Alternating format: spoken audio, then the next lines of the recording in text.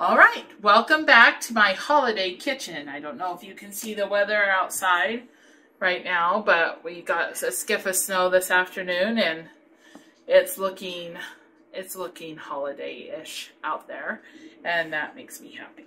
So, what we're going to be making today is my um, favorite green jello salad. And I think if I, I, yep, that's what it was. My mom made this growing up and it's called Jello Salad Supreme. But in our family, we call it green jello salad. and it is my favorite. It's a very old recipe. I think it's from one of my mom's uh, church cookbooks um, when she first got saved, and she got saved in 78 or 79, I think. Um, so it's an older recipe, and the lady who submitted it to the cookbook was an older lady, so it's probably even older than that. But um, anyway, it's very easy, but it's a nice balance between some the sweetness of the jello and pineapple and Cool Whip, and then um, like the saltiness of some Miracle Whip and cottage cheese, which I know sounds weird, but go with me. It is really, really, really good. And normally you put chopped pecans in this, salted chopped pecans in this, or salted chopped walnuts. But due to my nut allergy, um, and Brian's nut allergy, we won't be doing that part. But it's just as good without the nuts, but it's and it's very good with the nuts. So either way, I'm just waiting for my happy little kettle to get up to temperature. This is my first time using it, so I wasn't sure how long it would take, but it's it's it's climbing pretty quick. So what we have here in this bowl is a six ounce package of green jello. Um, the six ounce package is the bigger package. It's the family size or, you know, just buy two smaller boxes, but you do need the full six ounces. And as soon as my happy little kettle is up to 220, um, we will be adding a cup and three quarters of hot water. The reason I'm just doing a cup and three quarters is I actually use 20 ounces of crushed pineapple for the cold water um, after we do the hot. And that's just a little over two cups. And so we still want the, the jello to set. So we're just going to do a cup and three quarters. Okay, she's at 200. So just a few minutes. But um, this is a neat little trick. I do this in a lot of my jello salads that would normally call for cold water. I just use the juice of whatever fruit I'm putting into the the um, jello salad because it just gives it a nicer flavor, um, a very um, rich flavor. And I can hear it boiling now. And yes, it's up to 220. So we're going to pull my kettle off. And they do this wrong for right-handed people. But we're going to get it up to a cup and three quarter.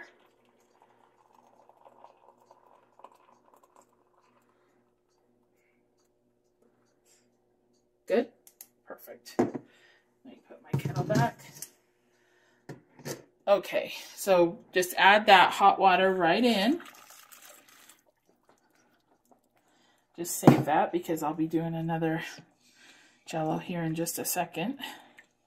And you're just going to stir this until the jello is completely dissolved.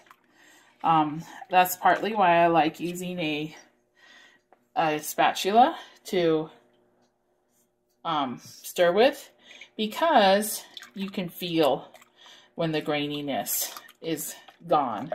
I just love the smell of jello too. It's so fake, but it smells so good. And green jello is one of my favorites. I, um, I'm not a big strawberry jello fan, but I love all the citrus ones, orange, green, uh, lime, and lemon. I love how we refer to the flavors as colors. The only red jello I like is cherry, or black cherry specifically. But Black cherry's hard to get your hands on now. I know because of my pretzel salad I'm making. You can get it in the pre-made little cups, but you can't get it in the boxes, at least not from Walmart here in Pocatello. Okay, so once we have that done, and it is all dissolved now, it's nice and smooth and slick feeling on the bottom. Then we're going to add our 20 ounce can of crushed pineapple. So just add that right in. Oh, my dog's going to think someone's here. It was me, Zatsu. Stop. Okay, just like that. And now all we do is we let that sit in the fridge and set up. And I'll come back later to show you the rest. Hello and welcome back to my holiday kitchen. I know that this is technically another segment of a video I already started, but it's a whole nother day. I was too tired last night when I came home from church to finish up the jello salad, so it's Thanksgiving. We have a beautiful white Thanksgiving, which I'm really happy about because I'm not sure we'll have a white Christmas. We rarely do. Seems like it always dumps snow like the day or after Christmas or so, but what can you do? Anyway, um, so happy Thanksgiving to you all, even though you'll probably be watching this in December.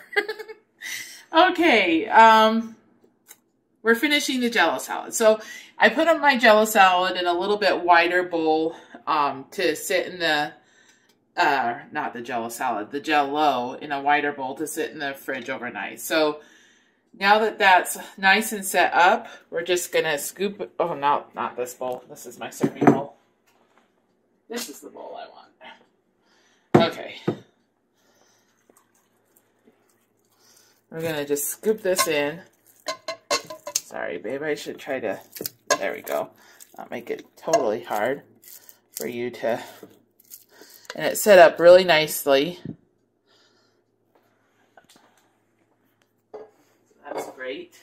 And then I just kind of break it up a little bit so I don't have to over stir it once I put the rest of the ingredients in. Um, it's this is oh, it smells so good. Mm. It just smells like Thanksgiving to me because we grew up eating this almost every single Thanksgiving. Okay, now to this we're going to add a let's see what size was that. It's a little guy. 16 ounce. 16 ounce tub of cottage cheese that I have run through my sieve to get out some of the extra moisture so that the jello salad doesn't get watery. So we'll add that to there. And then we're going to add about two-thirds cup of, oh man, this is really hard for you today, isn't it? It's okay. There we go. oh, we're tired. Two-thirds cup of um, Miracle Whip. So cottage cheese and Miracle Whip. And I know that sounds really gross. And I'm not even a Miracle Whip fan. I actually don't like it. But it tastes really good in this salad. Can and you substitute mayo? No.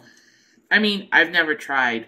But Miracle Whip and mayonnaise taste so differently that I knowing what the Miracle Whip brings to this salad, like I being able to taste it, on my palate, I would say that mayonnaise would taste really gross. It just probably make it taste fatty. I don't know what I do.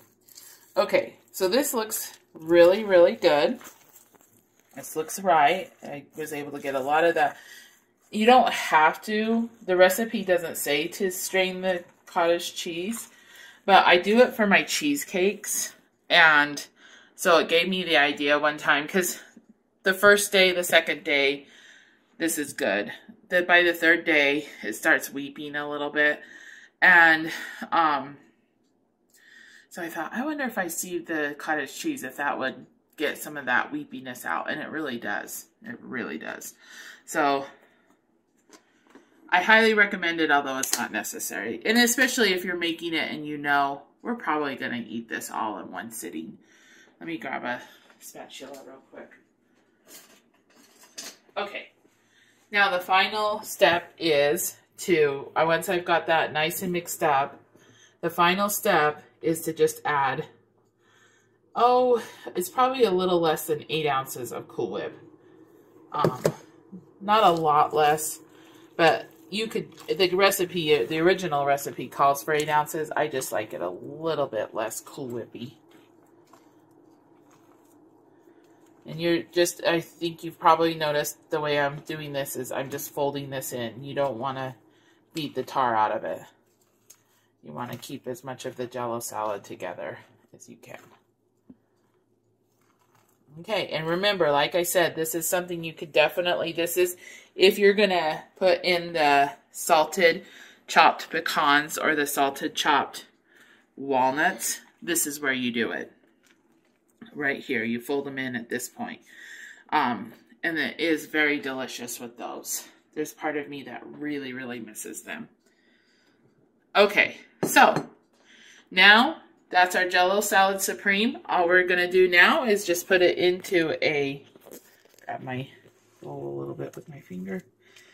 Put it into a, oh, you can see a stripe of Jello I kind of missed. Well, that's, oh, guess what that means, ladies?